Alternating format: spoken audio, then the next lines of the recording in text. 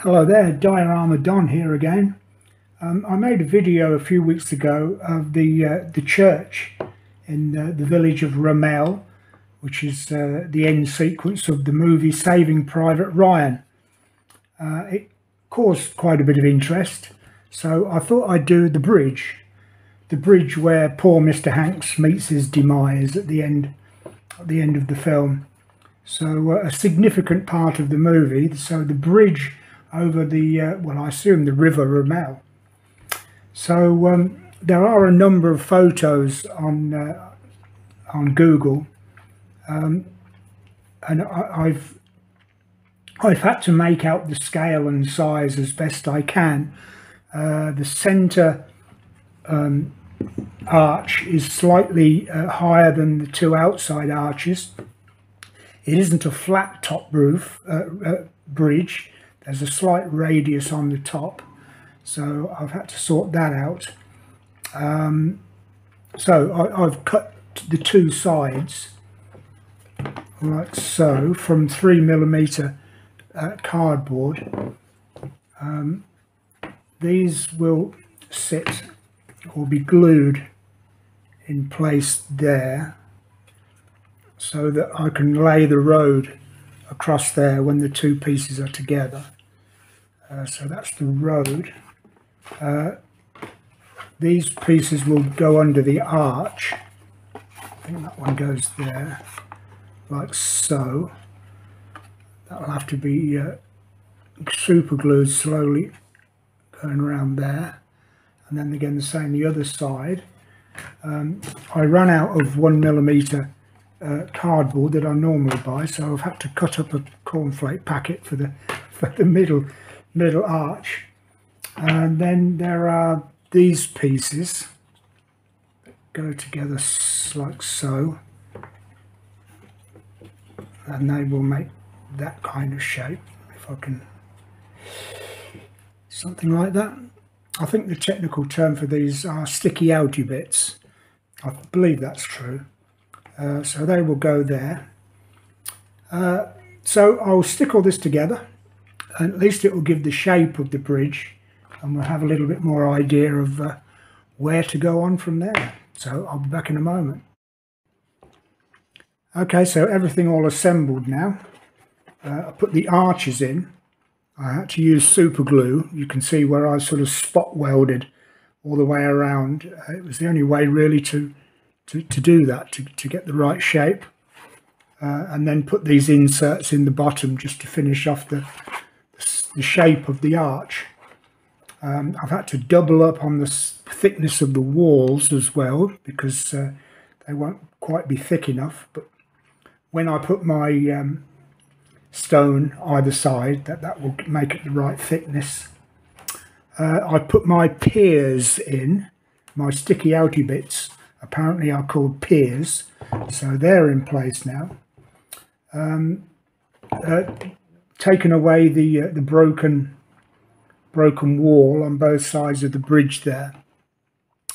Um, watching the movie, there are uh, there's just a fleeting glance of the bridge, and you can just see uh, some tram lines actually on the bridge. Well, I'm going to pretend I didn't see those because that's going to be far too difficult to do, especially on a on a curve like that. So I'll dismiss with the tram lines, but I will make it into a cobbled street, cobbled road. Uh, so that will be my next job.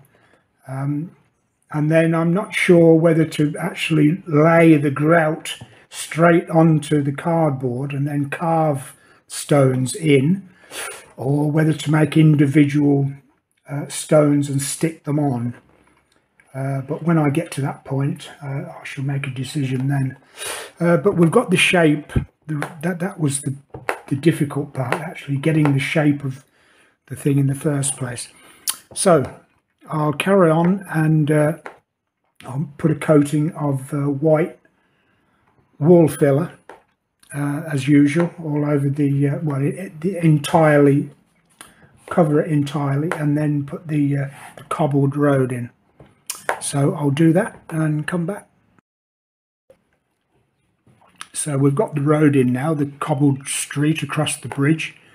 uh, just a, a, layering of grey grout and then using a straight edge uh, marked out all the um, the uh, cobbles individually then as it was drying uh, just make a circle around each each cobble just to take the corners off uh, to make it look a little little more realistic rather than it being just a, a grid of squares uh, giving it a coat of um, wall filler as well just to uh, take away the cardboardiness because that's uh, not easy to, to, to paint to put any finish on and taken away the, the broken wall where uh, bombs have uh, or shells have hit it. Um, I've uh, elected to um, put my own stone rather than put a, a, layer of grout and mark out marking out the uh, the stones. Uh, I've made three bespoke sizes uh, looking very carefully at photographs uh, there's this size that goes all around the arch. So I've made, made a load of uh, stones that size. So they will be for that. Then up to about that level, there are large stone blocks. So they will, they will go uh, all around there.